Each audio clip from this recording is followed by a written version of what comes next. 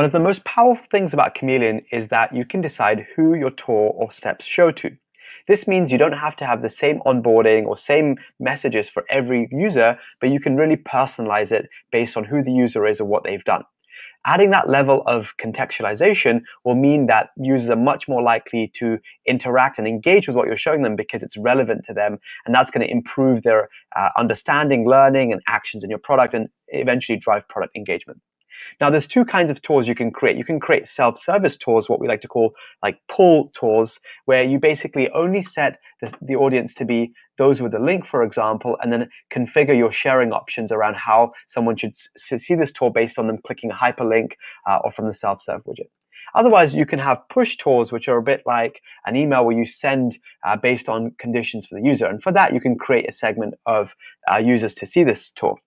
So when creating a segment, you can add a one or many filters, um, and those filters can be, for example, properties on the user. So this is um, something you know about the user, either the default properties, which is what Chameleon collects, such as browser, or imported properties. That's data you're sending to Chameleon. That can be anything like name, email, what plan they're on, their account type, their role, etc. So Presuming you'll know a lot, of data about your users, you can send that to Chameleon pretty easily, and then you can use these uh, to then target tours. So, for example, you could say, "Oh, anyone whose uh, customer lifetime value is greater than a certain number," or everyone whose sign up date is less than a week uh, a week ago.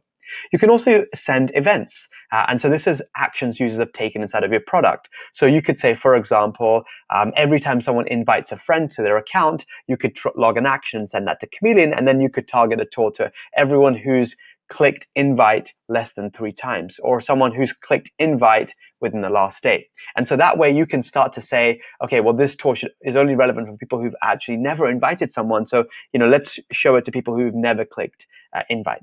You can also segment based upon tour events. So other tours that your user may or may not have seen. So you could say, for example, if the user exited the user onboarding tour, then show them this other tour, which is a catch-all, for example. Or if they completed um, level one of configuring administration, then they can go on to level two of configuring administration.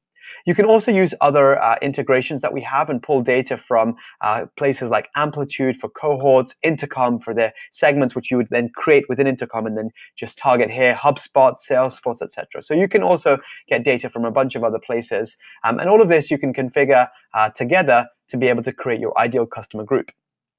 And so that's how you would end up creating your segment. Once you've created your segment, you can proceed with uh, publishing your tour.